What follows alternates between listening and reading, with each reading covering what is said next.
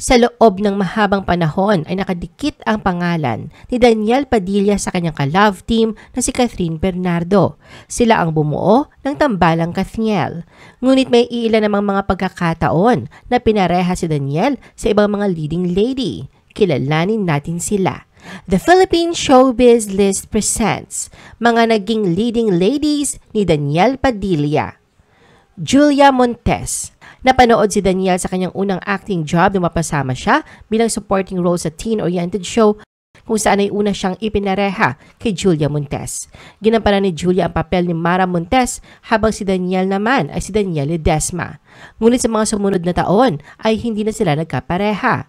Ayon kay Julia kung ipapares man sila ulit ay baka magmukhang ate lang siya ni Daniel pero depende pa rin raw sa role na ibibigay sa kanila. Medyo mature na kasi raw siya tingnan at si Daniel mukhang bata pa.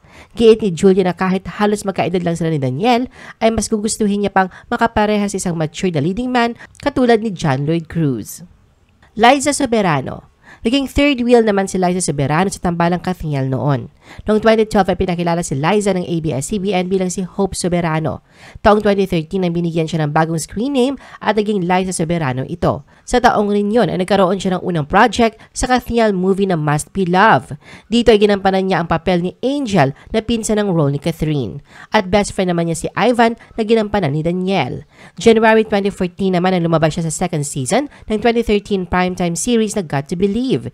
Ito ang pangalawang proyekto ni Liza na kung saan naging third wheel uli siya kina Catherine at Danielle.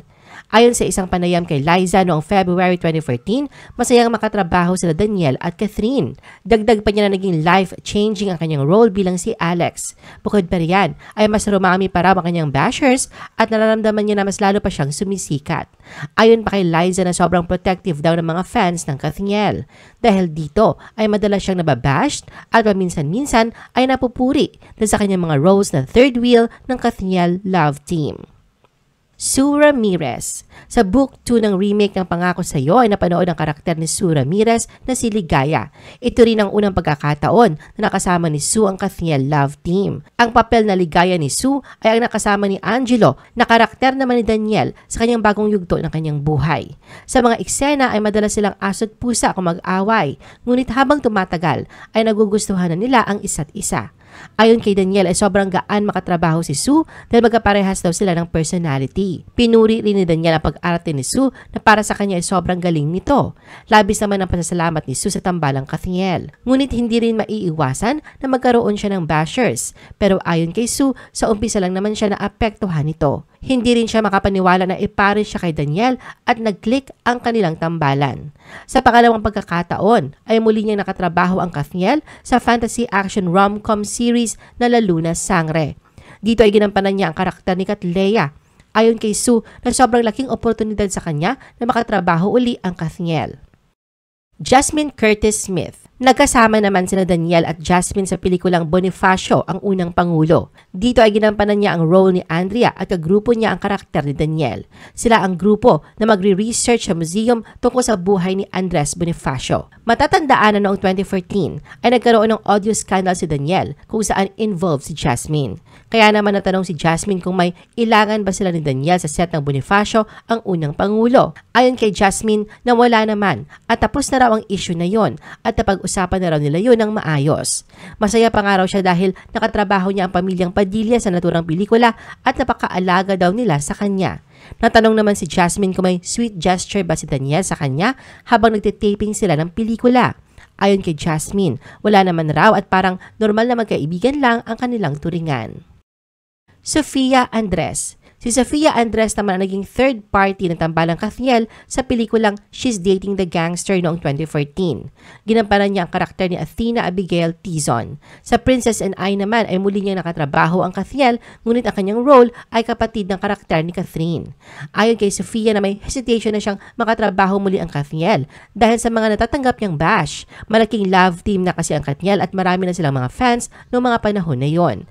Madalas, hindi lamang bash ang inaabot niya, dahil paminsan-minsan ay nakakatanggap pa siya ng death threats. Rance Refall Ginampanan naman ni Rance Riffle ang papel ni Andrea na kaibigan ng karakter ni Daniel na si Miguel. Ito ang first movie ni Rance at napalaban agad ito ng aktingan dahil maliban kay Daniel ay nakasama rin nila dito ang batikang aktres at former CEO at president ng ABS-CBN na si Charo Santos Concho. Ayon kay Rance na sobrang gaan makatrabaho sila Daniel at Ma'am Charo. Sobrang humble rin daw nila at hindi niya naramdaman na intimidated siya sa kanila. Palagi rin daw siyang tinutulungan kung ano ang magandang atake sa kanilang eksena. Nagpasalamat Nagpasalamat rin si Rance sa Kathniel fans dahil sa full support nito sa kanila ni Daniel. Kaya naman tuwang-tuwa si Rance at Anya, hinding-hindi niya ito makakalimutan sa buong buhay niya. Jillian Vicencio Naging sidekick at matalik na kaibigan naman ni Daniel Padilla si Jillian sa series na Too Good To Be True. Ginampanan niya ang karakter ni Tox na isang boyish. Ayon kay Jillian, ito ang kanyang unang rom-com serye at medyo nabaguhan raw siya dahil madalas mabibigat ang kanyang mga role. Kaya naman parang breath of fresh air raw niyang maituturing ang kanyang karakter sa Too Good To Be True. Sa isang panayam kay Jillian ay na-share naman niya kung ano ang kanyang experience na makatrabaho ang Kathniel. Ayon sa kanya na parang hindi siya makapaniwala dahil nung una una raw ay parang mga iniidolo niya lang ang mga ito. Pero kalaunan ay naging komportable na siya sa dalawa at naging masaya na ang kanilang working environment. Catherine Bernardo ang Kathniel tandem ay nagsimula noong 2011 nang si Catherine at Daniel ay gumanap bilang si Ella at Patrick sa teen show na Growing Up. Sa mga panahong ito ay 16 years old pa lamang si Catherine habang si Daniel naman ay 17 years old.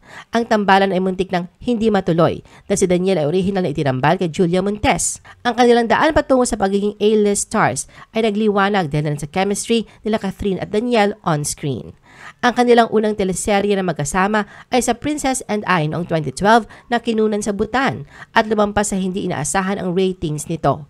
Sa teleserye, ginampanan ni Catherine ang papel bilang si Mikay, isang teenager na lumaki sa Pilipinas. Ngunit lumabas na siya pala ang matagal nang nawawalang prinsesa ng kaharian ng Yangdon. Sa set ng Princess and I, nagsimula si Daniel na ipakita kay Catherine ang kanyang damdamin. Sa isa sa kanilang mga araw ng taping, isinulat ni Daniel ang I love you sa tissue paper. Ang pelikulang Must Be Love noong 2013 ang nagmarka sa unang tagumpay sa takilya ng Love Team. Sa kanilang second movie team up, ang She's Dating the Gangster ay naging box office hit ulit ito. Dahil rito, naging titulo na ng Kathniel ang box office king and queen noong 2014. Nasunda naman ito ng teen romantic comedy drama film na Crazy Beautiful You noong 2015. Sa parehas na taon rin, inapanood sila Catherine at Daniel sa Pangako sa Iyo remake. Pagkatapos nito noong 2016, ay muling nagkapareha ang Catherine sa pelikulang Barcelona, A Love Untold. Ang pelikula ay kumita ng mahigit 300 million pesos worldwide. Dito rin sa pelikulang ito na panood ang kauna-unahan nilang kissing scene on screen. Taong 2017 naman na napanood sila sa series na La Luna Sangre. Sa parehas na taon rin ay nagkaroon uli ng box office hit movie ang Katniel. Ito ay sa pelikulang Can't Help Falling in Love. Sa kanilang victory party, ayon sa Stars Cinema, ay umabot ng mahigit 300 million pesos ang kinita ng pelikula. Kaya naman nang sa wakas ay inamin ni na Catherine at Daniel ang tunay na estado ng kanilang relasyon. Ito ay naging matamis na tagumpay para sa kanilang mga tagahanga. Sa press ko ng kanilang pelikula na The House of Us ay inihayag nila na sila ay magkasintahan na ng mahigit sa limang taon. Ang kanilang unang pelikula na may matured theme na The House of Us ay senyales na handa na sina Kath at Daniel para sa higit pa sa mga sweet at wholesome na papel. Inihayag ng Kathniel na ang ilang eksena sa pelikula ay aktual na hango sa kanilang mga pagtatalo bilang magkasintahan. Ang pelikulang Too Good To Be True naman noong 2022 ang huling pelikulang pinagtambalan ng Kathniel. I-post ang inyong comments at reaction sa baba. At huwag kalimutan na i-like at i-share ang video na ito. Gusto mo pa ba ng ibang showbiz videos? Panoorin ang aming iba pang top viewed videos. Para sa aming mga YouTube viewers, pumunta lang sa description ng video na ito o i-click ang link sa itaas ng screen. Para naman sa mga Facebook viewers, ay maaari ninyong hanapin ang mga link sa comment section ng video. I-follow nyo din kami sa Facebook at mag-subscribe sa aming YouTube channel. Thanks for watching!